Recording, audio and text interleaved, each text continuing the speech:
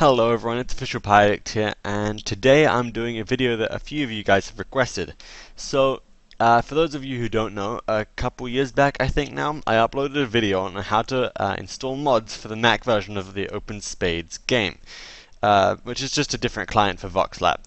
Um, now, for those of you, you who don't know, uh, there's a large modding community for the game, but uh, for Mac users it's pretty much impossible, at least back when I tried it, it was impossible to install mods on OpenSpades without a lot of fiddling just due to the way that Mac handles zip files, because whenever you uh, decompress and recompress its packages, eh, it can't see them anymore, so it just re-downloads them and ignores them.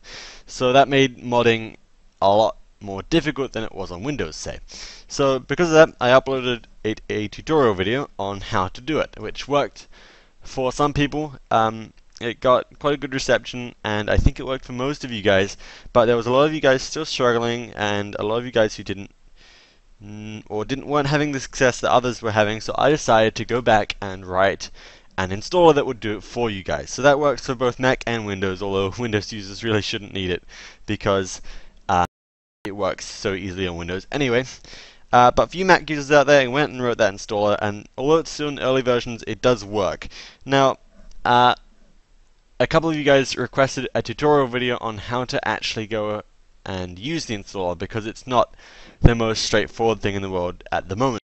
Um, so I thought I'd make this video and I'd go through how to use it so you guys can start using the installer. Now, for you Mac users, you may have noticed I'm not actually on a Mac anymore. I'm on a Windows now, because I changed laptops. Uh, don't worry though, I haven't forgotten you guys, and the installer is still mostly for you guys, because I know the pain, and you, you guys are the reason I'm making this video. So, essentially, I'm going to show you guys how to do it on Windows because that's the machine I'm using, but the commands and the usage will be identical on Mac because I've set it all up so that it looks and works identically. So let's get started. The first thing you guys are going to want to do is open Terminal. That's in your Applications folder and in Utilities. Alternatively, you can search for it in Spotlight. Uh, I'm going to be using Command Prompt. It's basically the same application, a bit different, but you guys don't need to worry about that. Now, if you've never used Terminal before, it's going to be a bit scary, but Trust me, when you get used to it, it'll be worth learning because it'll give you a lot more power to do a lot more things with your laptop or desktop, depending on what you're using. Anyway, uh, you're going to open it up and you're going to be in a directory similar to mine. You guys won't be in the C drive because Mac doesn't have that. You will probably be somewhere like uh, there or whatever your username is. Either way, it's irrelevant. So let's start off by finding the location of the installer. So you guys have downloaded my installer, presumably. If you haven't done that, go do that yet. The link will be in the description. But um, you should extract the folder, and you'll get this this folder here. Now you guys are going to run this file, I'm going to run this file because I'm on a Windows computer, but it's the same thing. But don't double click them because that's not going to work. So what we're going to do is we're going to go back to terminal, knowing where knowing where we are. So in my case, I'm in downloads, right? In the folder OS mod installer. So uh, you guys are going to find the path where you have saved yours, and then you're going to type cd, followed by spacebar, followed by the path to your uh, your OS installer directory. So I'm going to do uh, downloads forward slash OS mod installer, and I'm going to hit enter. That will be different for you guys depending on where you've done it, uh, but a good rule of thumb is it's probably in your downloads if you haven't changed anything. Right, so now that you're in the folder, uh, you can type ls just to make sure. You should see this sort of output. It'll probably look a little bit different on your machine, um, but the files should all be there. That lets you know you're in the right directory. So now we're here.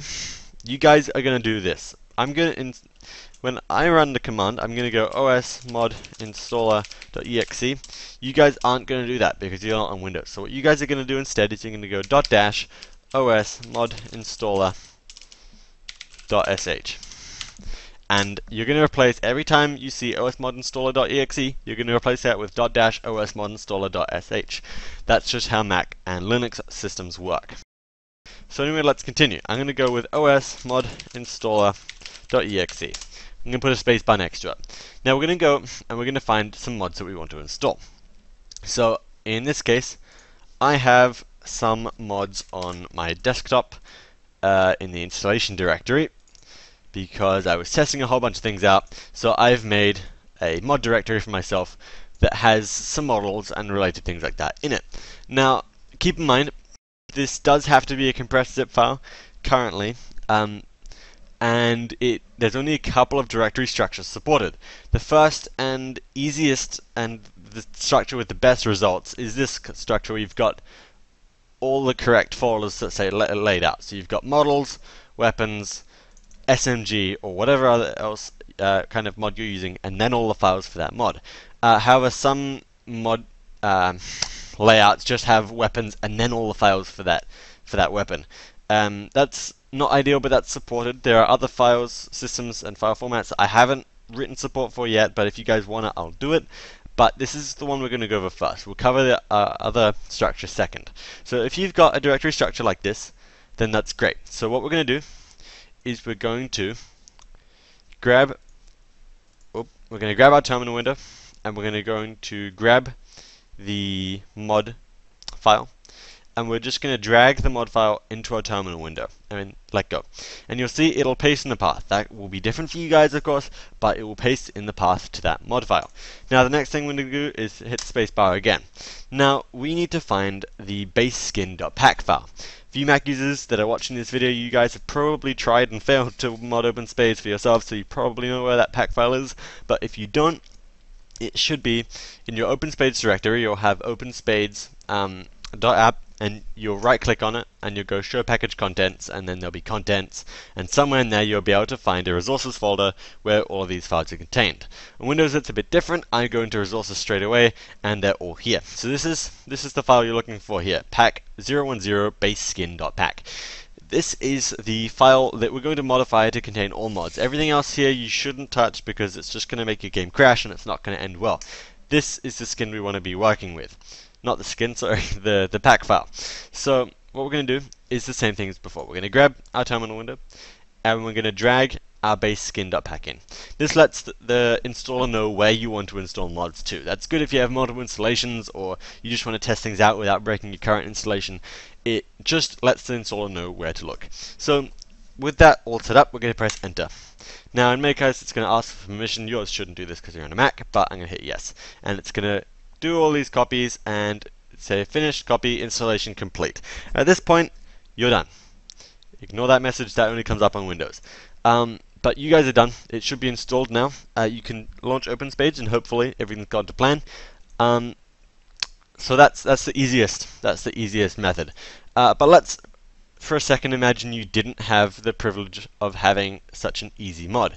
So let's say you had a mod that was a little bit more difficult to install. Say this structure. So you have models and then you just have all of your KV6 files in there. Now this is a bit harder because um, it's not in the most ideal format, but I have written support for it. So these are the only two structures at the moment. There's more coming if you guys are going to use them. But uh, we're going to do the same thing as before with a little bit of a difference. So we're going to open up terminal again. We're going to go os mod installer.exe. Remember you guys are going to do os sorry dot dash os mod installer.sh instead. And then you're going to put the space. You're going to drag in your mod zip file. Uh, do space again. And then you're going to drag in your pack file again.